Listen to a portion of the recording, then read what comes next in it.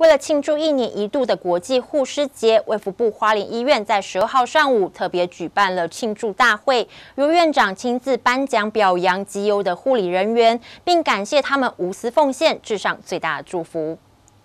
现场各位护理人员排排站，长官贵宾依序致辞，温馨喊话，感谢全体同仁对医疗工作的奉献。在五月十二号国际护士节的这一天，卫福部花莲医院特别举办了庆祝大会，除了由院长杨南平亲自颁奖表扬及优护理人员，同时也为院内的艺文走廊启动节目仪式。三二一，我护理，我骄傲。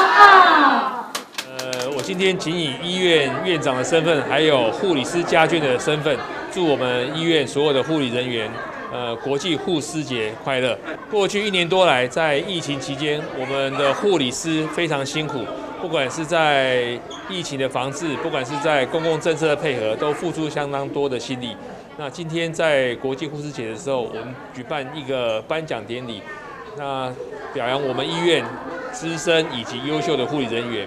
也在此再感谢他们未来在配合医院的政策方面，能够做更多的付出跟努力。花莲医院这次总共表扬了六位优良护理师及十二位优良临床护理指导员，而护理科主任温淑梅也表示，一本初衷坚持信念是非常艰巨的专业道路，只要哪里有需要护理师，就会往哪里冲，对照护人民健康有着不可磨灭的贡献。感谢每一位坚守岗位的同仁，在忙碌之余更发挥了专业智慧。这荣耀时刻是属于每一位护理师。